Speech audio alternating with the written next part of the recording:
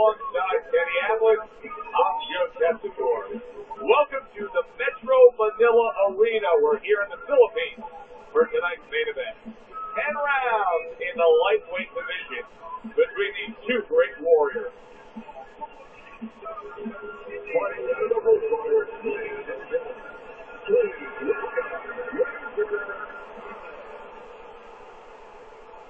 And he is running across the ring.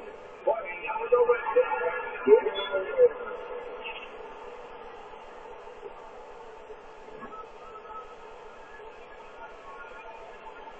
Okay, guys. Right over the rules of the wrestling.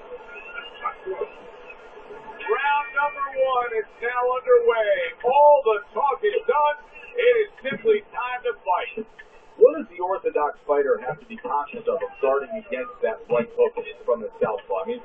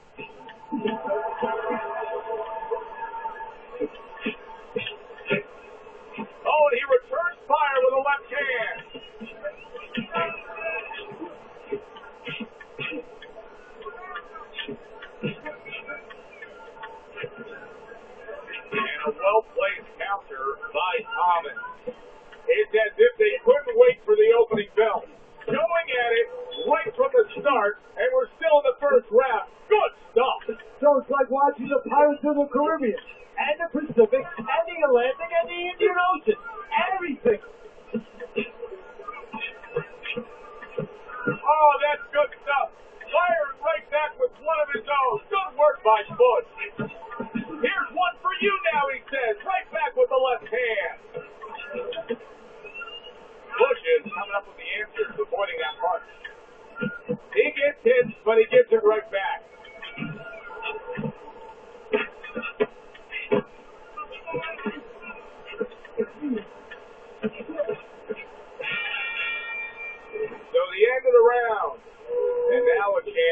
To put the pieces back together. He got stunned in that last round. Yeah, well, he has to get those birds out of his head right now. You know, open that cage up and let them fly out there. And the best way to do that is find out why he got stunned.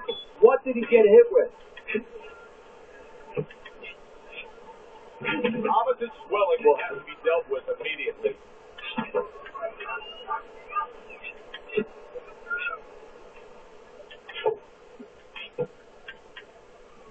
Able to get away from that headshot with the block. Bush is making for a tough target there. He gets away from that punch.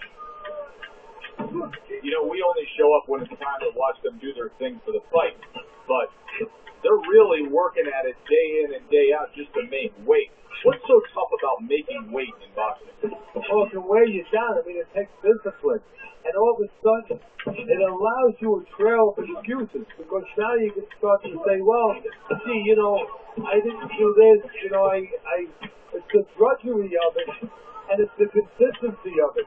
When you have to stay at a weight, you have to watch that weight. You have to balance it where you're also going to be able to have a physicality when you get the ring. You don't want to be weak, so you want to get that right balance where you're disciplined, you get the weight down, but you don't lose that physical edge. Protecting his head well with his guard.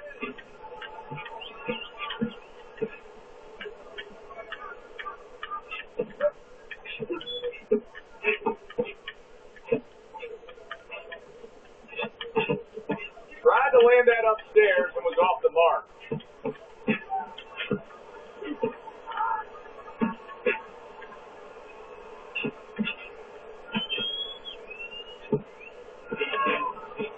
Return the sender. He gives it back one of his own. Thomas is coming up with the answer, avoiding that party.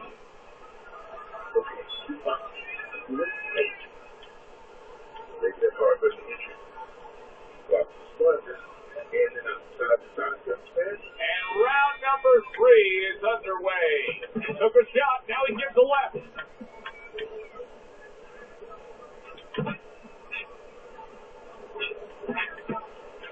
Takes one, but gets one. Good work by Bush. Teddy, I guess they wanted it. Look at this action going right out there, wasting no time. Oh, these guys are impatient. They couldn't wait to get at each other.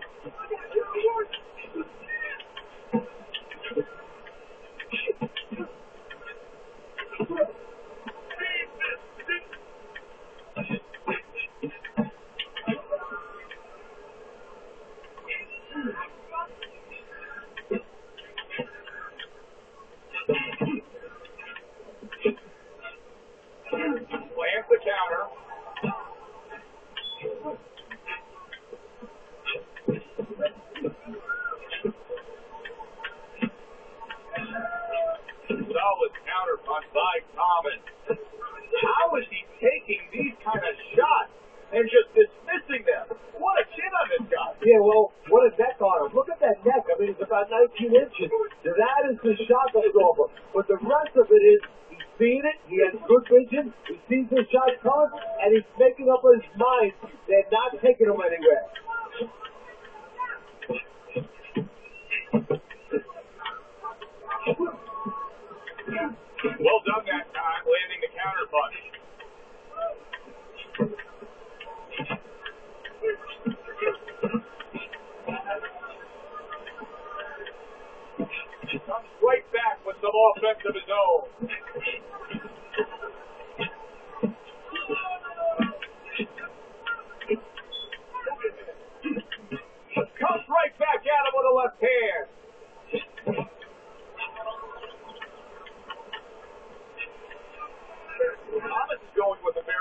Efficient work rate in that last round. He chose his spots carefully, Jay. Yeah, that's what I like to see, and that's what the judges are supposed to be looking for. You know, not just be overtaken by a guy just going out there like a Mad Hatter and just throwing punches, but placing the punches, strategically putting them in the right spot. Good job. Teddy, is this becoming a mental thing with him? I mean, he's not firing off the big power punches. I gotta wonder why. You know, that's a good question.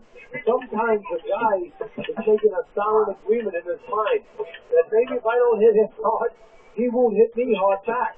He's not confident enough now to throw the punches without worrying about what will come back at him.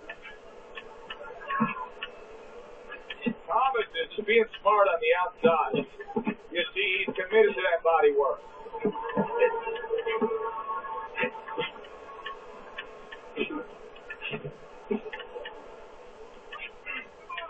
his hands up, getting way of his opponent's effort.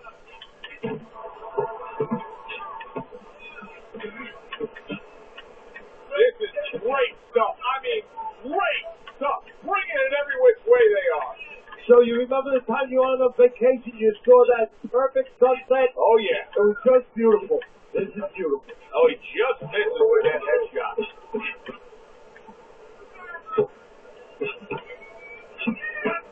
Sixty seconds to go in what has been a toe-to-toe war. Oh, what a great round!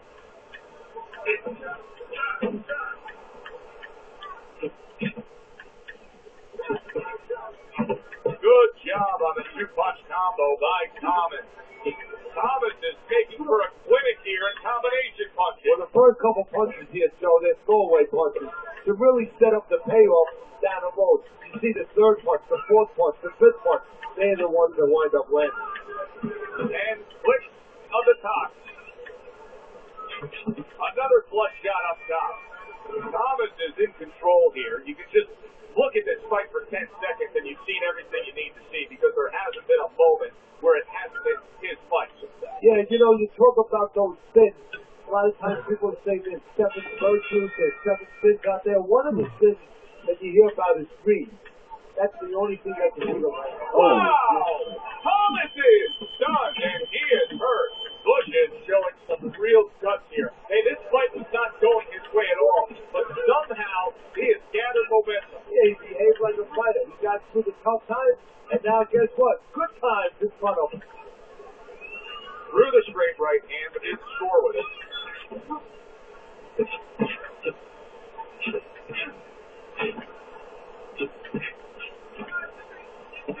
There's another right hand.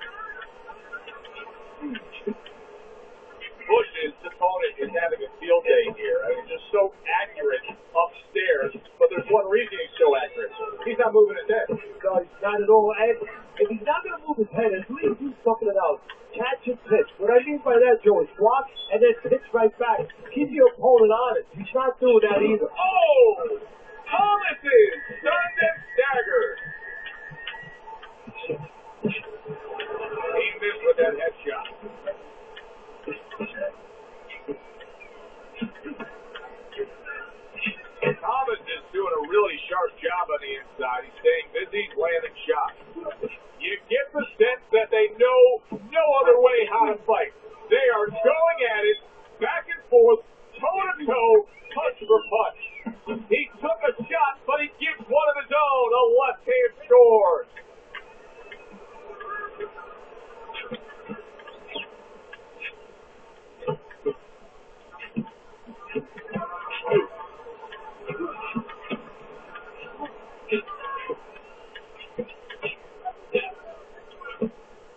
Fires right back at him.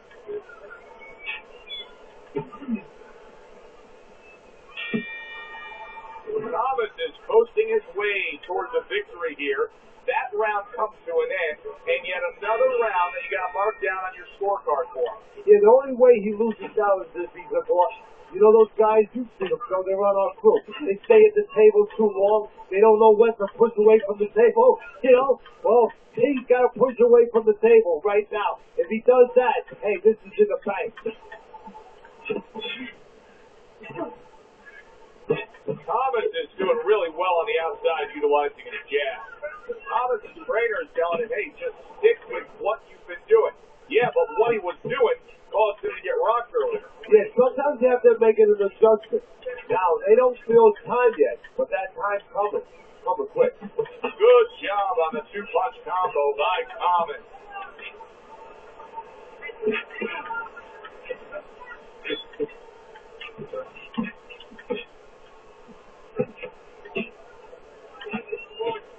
What a fight. What a great, great, non-stop action fight this has been.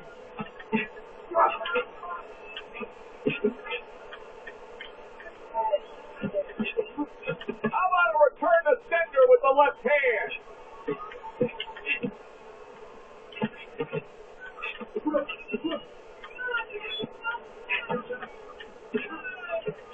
Turns over the hook after turning away his opponent's shot. You know, I wonder if he's taking his man lightly because he is up on the scorecard, but you can see that he is being pressured and pushed. You know, he's in there with a real solid guy. I don't think he's taking him lightly. It's just that he's in there with the kind of waters he's never been before. Deep waters. And he's swimming harder than he's ever had to swim before. He returns the favor with a right hand of his own.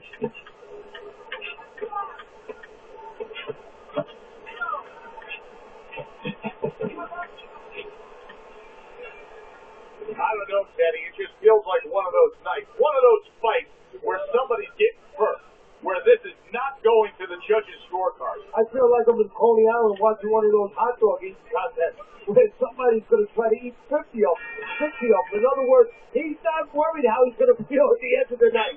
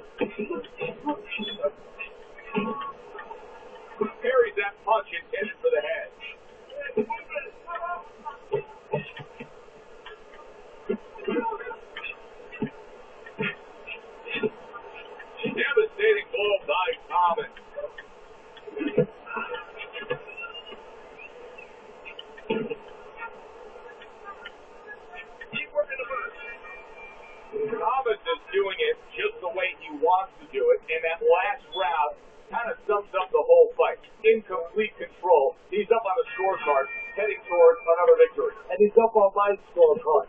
Now he just has to be careful that he doesn't get challenged, he doesn't get wrecked. A good block.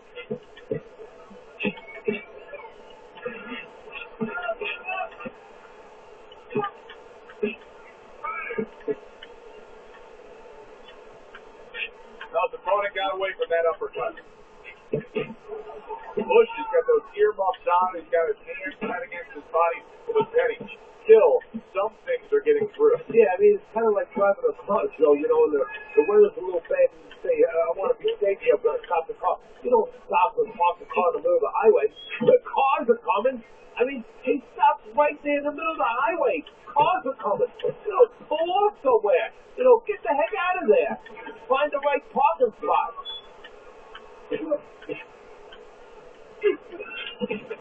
Ooh.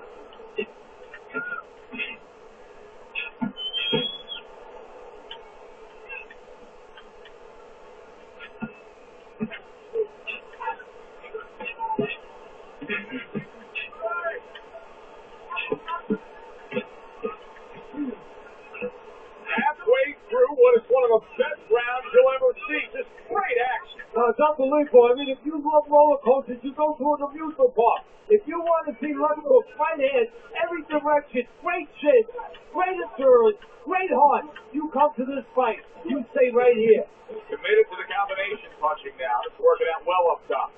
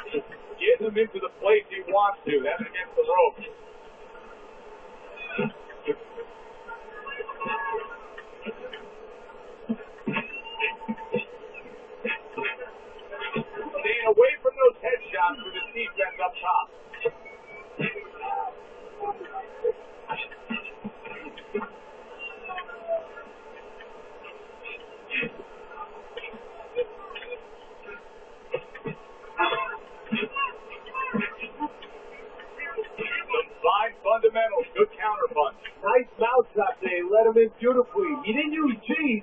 He used distance. Well, here's the way we see it. He's down on the scorecard, has to have the knockout to win it. Yeah, and he has to understand that. You know, the main thing is he hasn't given in.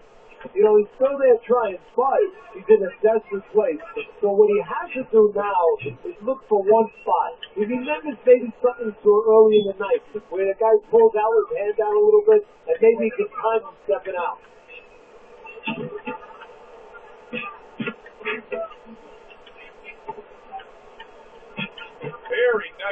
With the double jab up top. Big and deep, big and deep.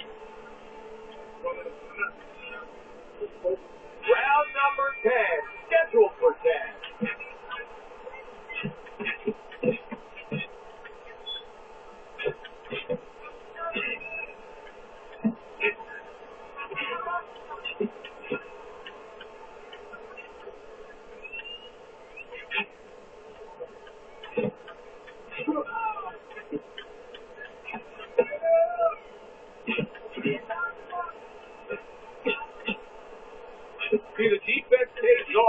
gets rid of that down